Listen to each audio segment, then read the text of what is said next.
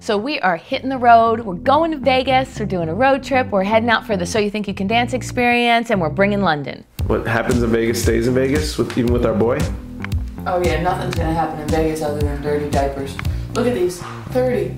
Is that enough, do you think, for two days? On for two or three. so heavy. Yeah, and like two or three days, I think I have a whole suitcase just full of diapers. It's not like I can't go to the store. What am I doing? Yeah, Vegas has turned into a whole new meaning to us. It, going on a road trip to Vegas does not mean, yeah, going to Vegas, party. It means, oh, going to Vegas. Guess a lot of stuff to do before we go. Well, we're so used to being up here bar together doing uh, road trips and talking business and and doing stuff and singing songs and getting creative and I feel like I'm kind of ready to just go to sleep. I know. So But we just, we're gonna feed him anyway, feed since him we got a anyway. rest stop here. we can't chance it. Let's take. It's going to be a long time to get to Vegas. Well, should, and should I change his diaper right now? No, let me feed him and then I'll change it when we're done. Okay.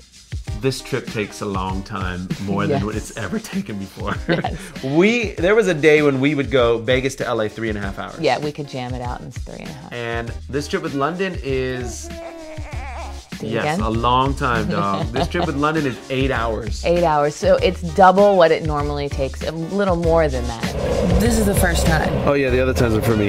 Yeah, no, we pulled over more for Napoleon to pee than for this guy. This is the first time he's had to pull over, so he's been a champ. When you're driving with a kid, you can't just take him out of the seat while we're driving and mommy change him We and put him back pull in, over. or you have to pull over. So every time he has to eat, poop, pee, guess We're who's pulling over. We're travelers. We always like to take road trips. When we hit the road, we listen to music.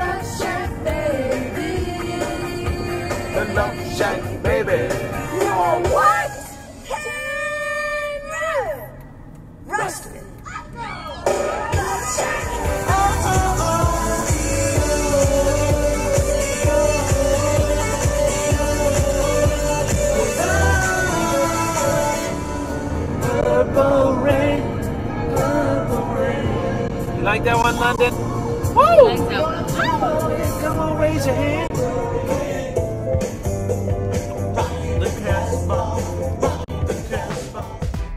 And I think a lot of our good creative ideas come when we're driving. There's a So You Think You Can Dance event, and uh, they asked us, along with some of the other people from the show, to come on out, the executive producers there. So we're now super late. It's taken us twice as long as we anticipated to get to Vegas. You know, Let's go. I know Daddy's anxious. He wants Let's go.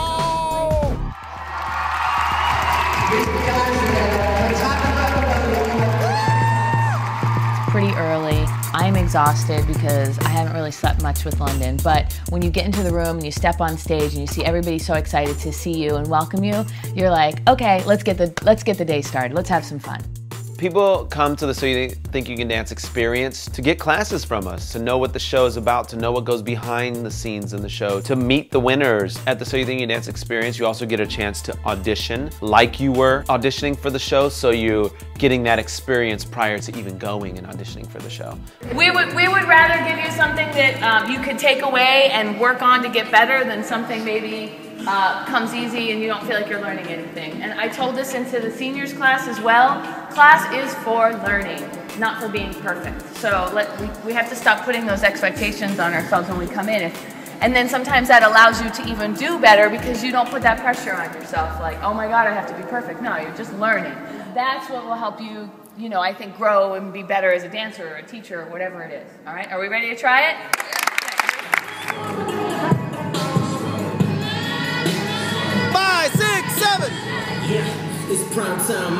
Back, this pimp game, this pimp game. I'm red leather, this We run a mock audition to give the people who sign up for this event the experience as if they were auditioning for So You Think You Can Dance. So it's fun. And that's when we leave London because our day begins. We've taught at dance conventions for many, many, many years, but we've never had a baby with us, obviously. So having London there is this whole new thing. We are run, literally teaching class. Thank you, thank you, okay, gotta go. And then run outside, check on London, feed London, still while we're preparing for the next class, which happens in another hour.